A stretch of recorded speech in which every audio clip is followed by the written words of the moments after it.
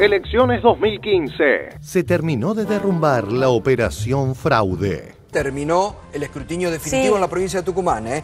y la Junta Electoral ha dado a conocer ya los resultados finales. 11,7 puntos de diferencia entre el ganador Juan Mansur y el segundo José Cano eh, de la oposición. ¿eh? 51,4 a 39,7. Se dio lo que veníamos diciendo. El Frente para la Victoria, el peronismo en Tucumán, ganó por más de 110 mil votos, compañeros.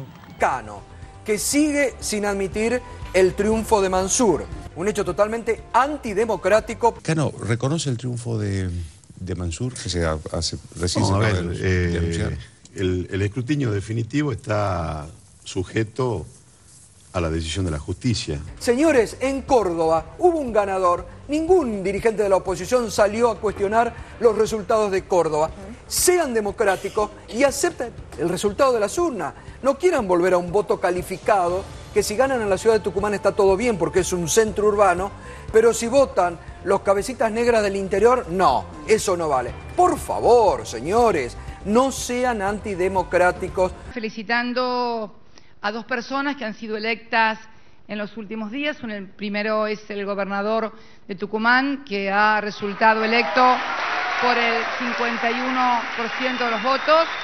Y también quiero felicitar al señor intendente de Córdoba, que ha sido votado por el 37% de los ciudadanos de la capital cordobesa. Creo que a nadie se le hubiera ocurrido denunciar fraude, pero es que nosotros no somos de denunciar fraude cuando perdemos, nosotros aceptamos los resultados. Pero quiero decir algo también con respecto a los resultados.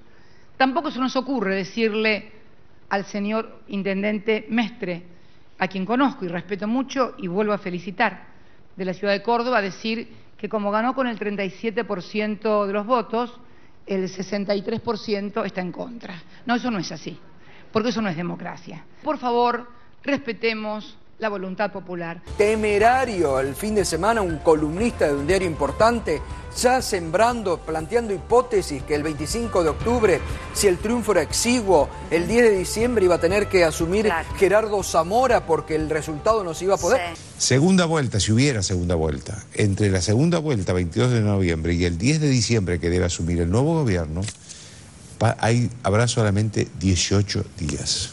Y me parece que eh, la experiencia de Tucumán, si hay denuncia de fraude, esto se puede demorar mucho y puede no llegar al 10 de diciembre un presidente en condiciones de asumir. No hay que descartar que el 10 de diciembre la presidenta tenga que entregarle la presidenta el gobierno a Zamora, que es el presidente provisional del Senado, tenga que entregarle la presidenta el gobierno a Zamora, que es el presidente provisional del Senado, hasta unos días, hasta que se conozca quién es el presidente este, eh, electo.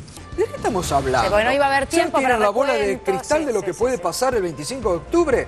Obviamente que están buscando eh, justamente ver cómo condicionan Mm. eh, a- al próximo gobierno o cómo siembran dudas sobre el proceso electoral. Se asume Mansur, digo, ¿con qué legitimidad asume? Digo, Es lo porque que vos venimos tuviste- diciendo. El problema de Tucumán, el problema de Chaco, que parece que va a pasar algo bastante parecido, el problema de Chaco, que parece que va a pasar algo bastante parecido, es el, cómo esto repercute en octubre, con qué legitimidad asume el que sea, ya en el país, no en Tucumán, ya en el país, no en Tucumán. Esto es un llamado de atención enorme para el gobierno acerca de lo que va a pasar en el Chaco y lo que va a pasar el 25 de octubre. Obviamente que están buscando eh, justamente ver cómo siembran dudas sobre el proceso electoral. Ya hablan de casi de fraude en las elecciones presidenciales. ¿Cómo lo tomás?